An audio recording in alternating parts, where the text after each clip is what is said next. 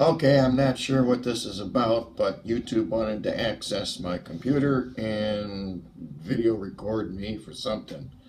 Well, anyways, not sure I understand why, but uh, we'll see. Okay, I guess that's enough.